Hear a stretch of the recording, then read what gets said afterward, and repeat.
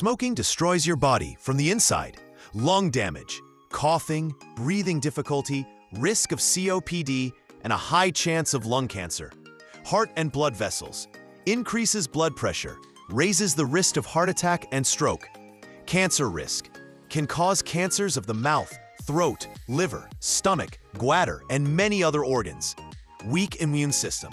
The body catches infections more easily and heals more slowly.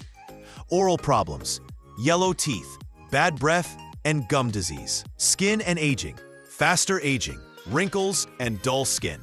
Fertility and pregnancy issues. Reduced fertility, higher risks during pregnancy, premature birth, low birth weight. Addiction. Nicotine is highly addictive, making it difficult to quit. Secondhand smoke.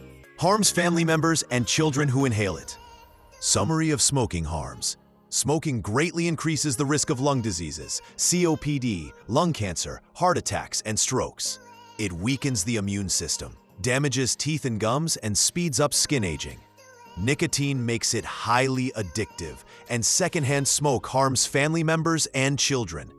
It also reduces fertility and increases pregnancy complications.